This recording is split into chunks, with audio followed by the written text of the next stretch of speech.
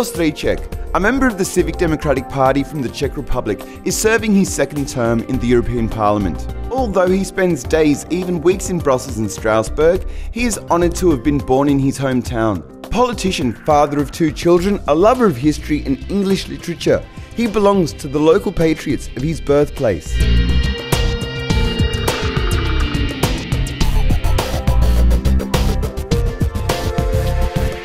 This is the place where I work.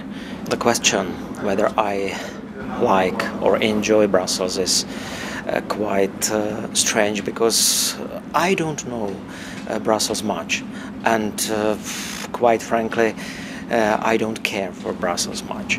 Uh, the only hometown is my hometown, which I love absolutely, the countryside, the, the countryside of my roots. So, so that's uh, the place where I love staying and living.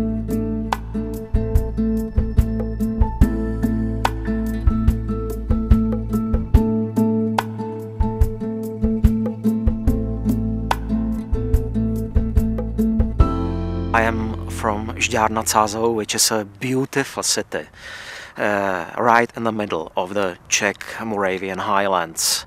It's a gorgeous part of the Czech Republic, and we are now standing on a green hill, so called Green Hill, and the church, which is behind me, is the pilgrim church of uh, Saint John of Nepomuk, built by a famous Czech Italian architect uh, Giovanni Santini Aichel sometime in the beginning of uh, the 18th century. The Pilgrim Church is uh, on the list of the world's famous monuments uh, UNESCO and uh, belongs to one of the most beautiful parts of my town, which I love very much. Ivo Strejček, Doctor of Pedagogics and former English teacher, has been placed among the experts in the European Union when it comes down to economics. He promotes Czech national interests in the Union. In the European Parliament, I concentrate on economic questions. I'm a member of uh, the Committee on Economics and Monetary Affairs. Uh, fortunately, the Czech Republic is not a member of uh, the Eurozone. We we cherish uh, the Czech crown and we will cherish, at least I hope, uh, as uh, long as possible.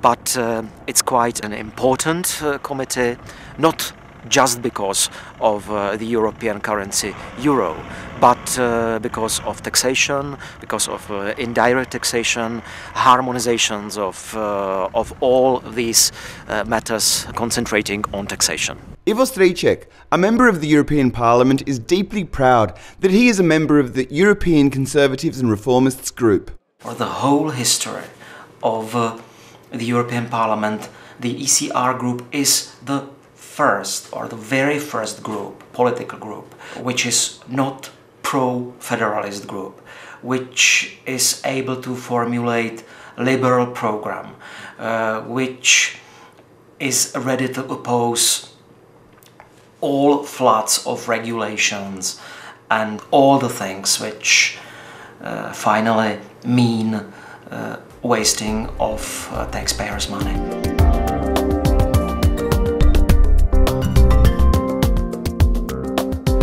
I can guess, the ECR group is uh, a danger for uh, major political streams inside the European Parliament and uh, starts quite small 50 60 60 members comparing large groups consisting of 200 members. That's quite uh, quite small.